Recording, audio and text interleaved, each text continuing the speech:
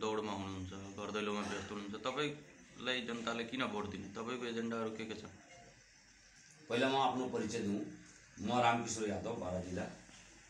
घर सुनौनगढ अहिले चुनावी प्रतिस्पर्धामा भनौँ अथवा प्रतिनिधि सभाको चुनावमा म बारा जिल्ला निर्वाचन क्षेत्र नम्बर दुईबाट सङ्घीय संसदको स्वतन्त्र उम्मेदवार चुनाव चिन्ह खराएको छ।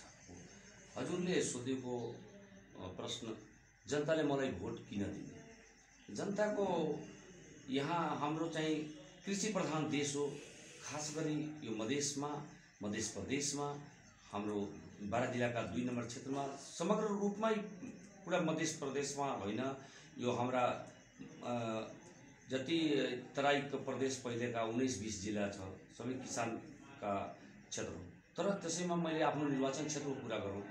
निर्वाचन क्षेत्रमा चाहिँ अस्सी पर्सेन्ट एकासी पर्सेन्ट किसान खेतीमा निर्भर आफ्नो जनजीविकाको आधारमा अब किसानका समस्याहरू।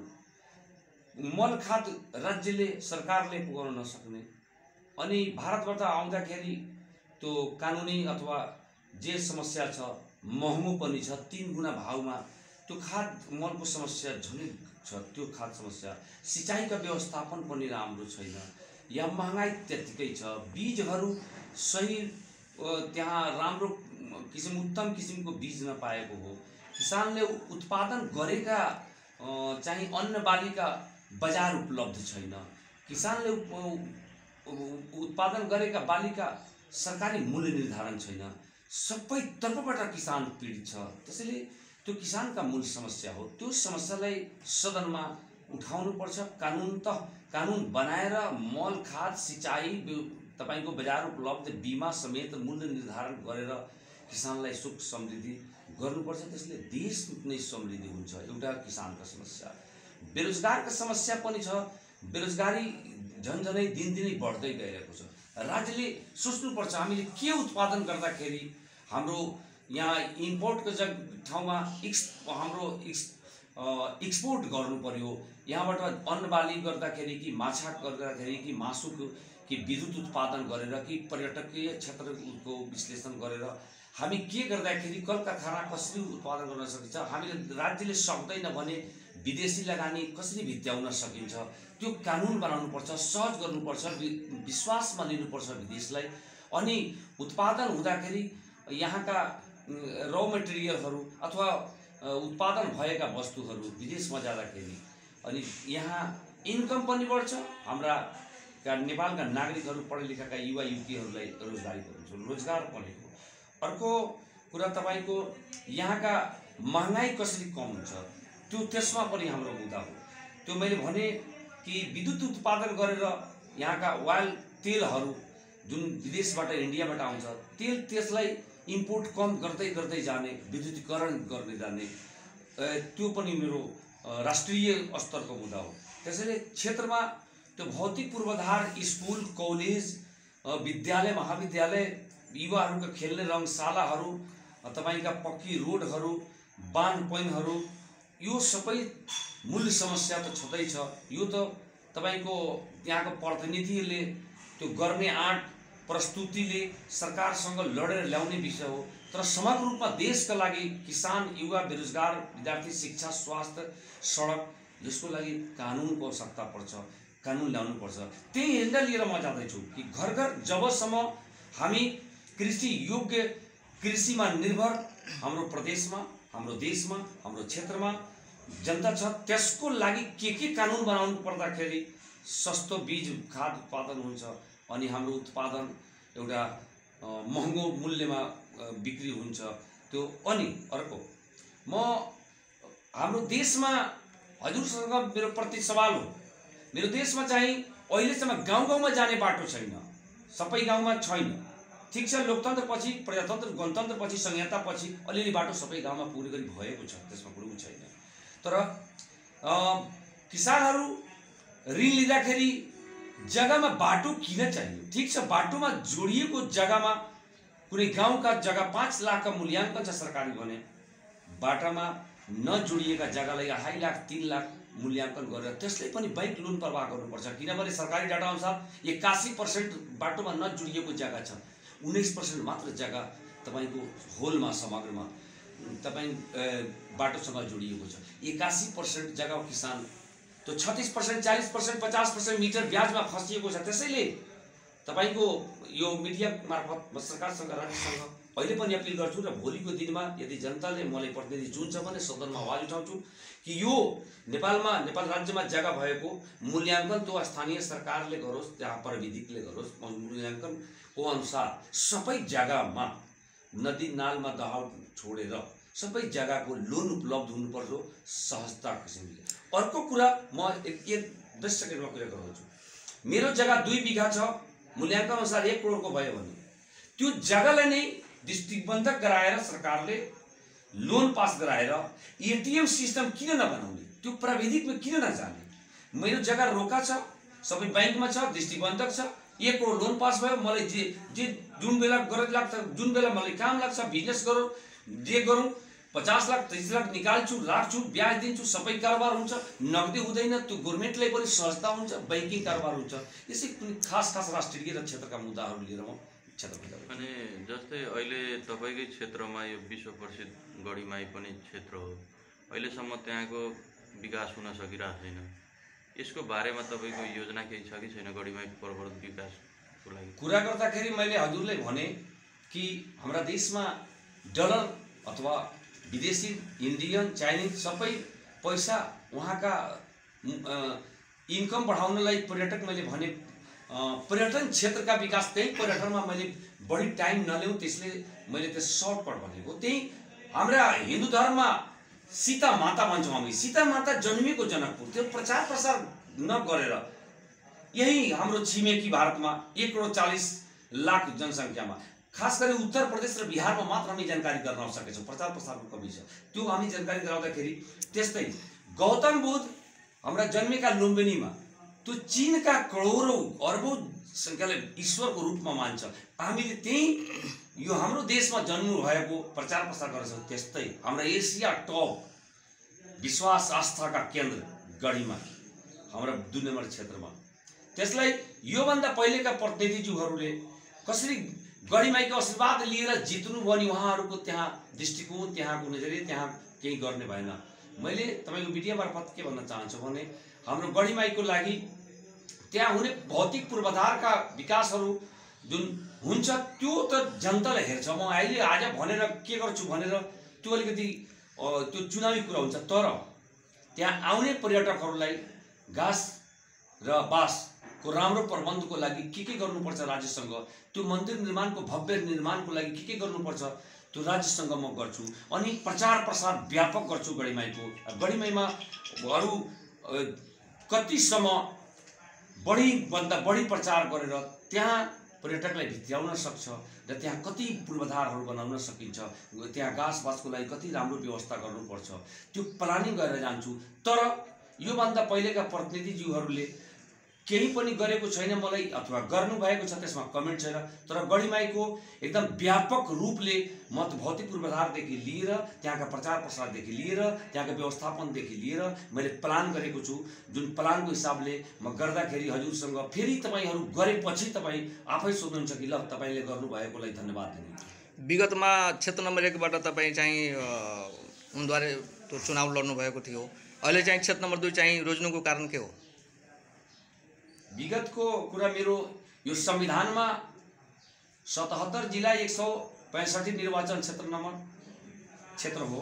त्यसमा हामी सबैले गणतन्त्र प्रजातन्त्र लोकतन्त्र ल्याएर यो सुन्दर पक्ष हो। हामी मैले एक सौ पैँसठी निर्वाचन क्षेत्रमा जहाँबाट पनि लड्न सक्छु भनेर तपाईँहरूले संविधान निर्माण गर्नुभएको छ।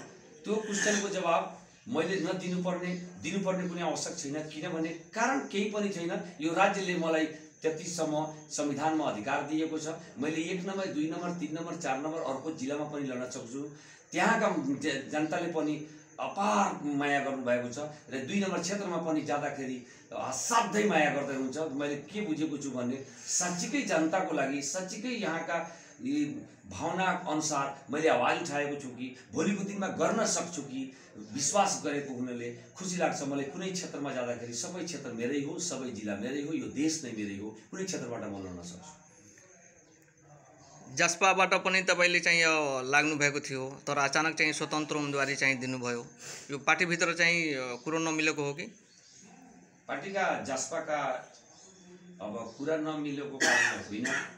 मेरो भनाइ के हो भने कि जसपामा मैले सोह्र वर्षदेखि कहीँ न कहीँ पहिला फोरम नाम थियो हजुरहरूलाई थाहै छ।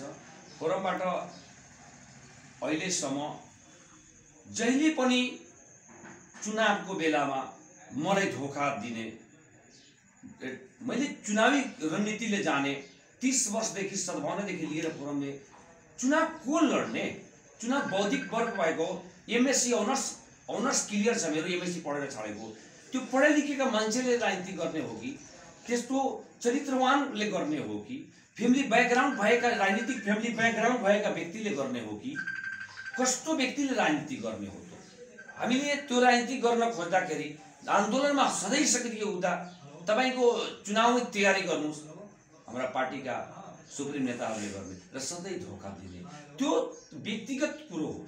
तर मधेसका एजेन्डामा मधेसका संहितादेखि लिएर पहिचानदेखि लिएर समानुपातिक समावेशी नागरिकता विधेयक सम्पूर्ण एजेन्डामा विगतका दिनमा नेकपा एमाले बाधक हो भनेर गरेको पनि छ।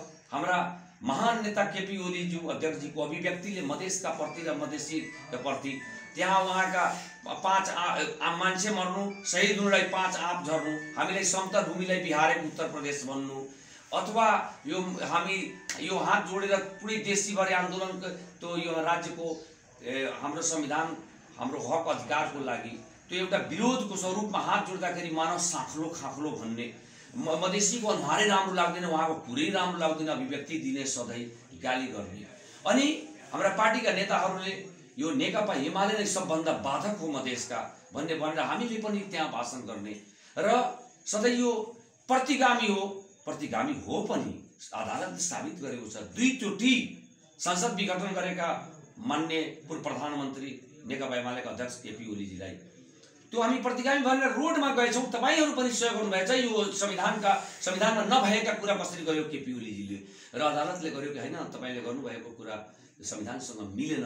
अनि अर्को मोर्चा अर्को गठबन्धन भनेर डेढ वर्ष सरकारमा बसेर मन्त्रालय लिएर यो प्रतिगामी हामी सधैँ गर्ने। भर्खर नागरिकता विधेयक दुवै सदनबाट पास भएपछि महामहिम राष्ट्रपतिजीले कहीँ न कहीँ नेकपा एमालेका निर्देशनबाट पहिला कार्यकर्ता उहाँ पहिला उहाँका नेता हुनुहुन्थ्यो। हामीले त्यो अनुमानको उसमा चाहिँ केपी ओलीजीलाई पनि र मान्य महि महामहिम राष्ट्रपतिजीलाई पनि विरोध गरे।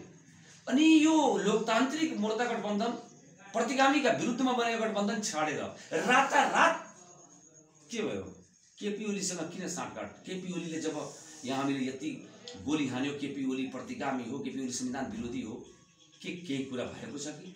एक दुई सिटको लागि त्यस्तो गर्नुपर्छ। एक्लै लड्नु पर्थ्यो नि। एक्लै त्यो दिन त्रिसठको दिन हाम्रा जुन पार्टीमा थियो त्यो पार्टीका मान्य अध्यक्ष उपेन्द्रज्यूले के उहाँले सङ्गठन थियो? उहाँसँग मान्छे थियो चिनजान थियो? म पनि थिएन नि म त सद्भावनामा थिएँ। एक्लै लड्नु भयो चौसठमा त्यति रिजल्ट हाम्रा देशका हाम्रा मधेसका फेरि एक्लै लड्नु पर्यो आठ हुनु पर्यो नि। लालचको राजनीति गरेर हुन्छ। योभन्दा योसँग बढी सिट आउँछ। त्यसैले त्यो मैले व्यक्तिका विरोध गरे होइन। त्यो जसपाका जो राजनीतिक निर्णय छ त्यो नीतिका विरुद्धमा मैले विद्रोह गरेर म त्यो पार्टीबाट हटेर म स्वतन्त्र गरेको अहिले चुनावी माहौल चाहिँ क्षेत्र नम्बर दुईमा एकदम धेरै तातिएको अवस्था छ। तपाईँ स्वतन्त्र उम्मेदवार। जनताको प्रतिक्रिया के छ? जनताको प्रतिक्रिया असाध्यै ए म माथि आकर्षित छ म माथि माया छ। किनभने त्यसको कारण दुई तिनवटा छ। नेकपा एमाले नेपाली कङ्ग्रेस नेकपा माओवादी र विगतका फोरम यानि अहिलेका जसपा चारै पार्टी जितिसकेका छ चारै पार्टीका नेता जितिसक्नु भएको छ। म स्वतन्त्र भएँ। मैले चाहिँ एक नम्बर दुई नम्बर तिन नम्बर चार नम्बर मधेस आन्दोलनदेखि लिएर शासन प्रशासनमा अथवा हस्पिटलमा अथवा जे पनि जुन जनजीविकाको सवालमा आवश्यकता पर्दाखेरि कुनै नेताले कुनै जनताले नेता मैले भने गाउँघरका जुन वार्ड स्तर हो गाविस स्तरका सबैले मसँग अर्थ भेट्दाखेरि मैले गर्ने सहयोग म गर्छु। म सोध्दैन तपाईँ कहाँको त्यो कुराको इम्प्याक्ट बढी छ कि? नेताजीसँग मैले यो काम गराउँदाखेरि सोध्नु पनि भएन तपाईँको घर कहाँ हो कुन हो कुन पार्टी हो? त्यो इम्प्याक्ट र चार पार्टीका जितेका नेता कि अब एकचोटि स्वतन्त्रलाई पनि हेर्नुपर्छ। यिनीहरूले जितेर केही पनि गर्नुभएको छैन समन्वय पनि गर्दैन सम्पर्क पनि गर्दैन सम्मान पनि गर्दैन। तपाईँको यहाँ आएर तपाईँको सहयोग पनि गर्दैन सुरक्षा पनि हुँदैन संरक्षण पनि गर्न सक्दैन। त्यसैले यो सबै कुरामा ममाथि विश्वास गरेर अपार चाहिँ माया गरिरहेको छु। नागरिकलाई मतदातालाई पनि के भन्न चाहन्छु अब तपाईँको यो क्षेत्रमा तपाईँ आफ्नो प्रतिस्पर्धी कसलाई देख्नुहुन्छ? कोसँग तपाईँको प्रतिस्पर्धा हुन्छ म प्रतिस्पर्धा अब जनताले डिसिजन गर्ने हो जनताले फैसला गर्ने हो। सबैजना प्रतिस्पर्धैमा हुनुहुन्छ बाइसजना लड्नु भएको छ त्यो रिजल्ट चार गते आउँछ एक सौ छब्बिस सत्ताइस गाउँ हो पाँचवटा पालिका र एउटा तपाईँको कोल्बी नगरपालिकाका वार्ड नम्बर आठका छ। एक लाख पाँच हजार भोटर हो। अब प्रतिस्पर्धा कोसँग छ? त्यो म पत्रकारजीहरूसँग भन्न चाहन्न। प्रतिस्पर्धा त्यहाँका आम जनताले गरिदिन्छ। रिजल्ट पनि त्यो माइन्ड मेकअपमा दिमागमा तपाईँको आफ्नो बसाइसकेका छ। कसलाई ल्याउनुपर्छ भनेर। त्यसैले प्रतिस्पर्धामा को भनेर भन्न मलाई अलिकति त्यो ठिक लाग्दैन मलाई। क्षेत्र नम्बर दुईका स्थानीयवासीलाई हजुरबाट के सन्देश? अहिले बितेको दिवाली र आउने छठ महान छठ पर्वमा पहिला सम्पूर्ण त्यहाँ देशैभरि विदेशैभरि यहाँ आफ्नो क्षेत्रभरि हाम्रा महान जनतालाई पहिला शुभकामना दिन चाहन्छु। अनि मैले चाहिँ कङ्ग्रेस एमाले माओवादी अथवा लोकतन्त्रमा जुन पार्टीमा लागेका हाम्रा दिदीभाइ दाजुभाइ दिदीबहिनीहरू आमा बुवाहरू काका काकीहरूसँग म के आग्रह गर्न चाहन्छु म विश्वास दिलाउन चाहन्छु कि तपाईँहरू जुन पार्टीमा लागे पनि एउटा स्वतन्त्र उम्मेदवार म छु मलाई माया गर्नुहोस्। म सधैँ तपाईँलाई सम्मान र माया गर्दै रहन्छु र विकासका कुरा सुरक्षाका कुरा संरक्षणका कुरा सम्मानका कुरा सब सधैँ उठाउँदै रहन्छु। यति मात्र म भन्न चाहन्छु। हस्त धन्यवाद। ल धन्यवाद।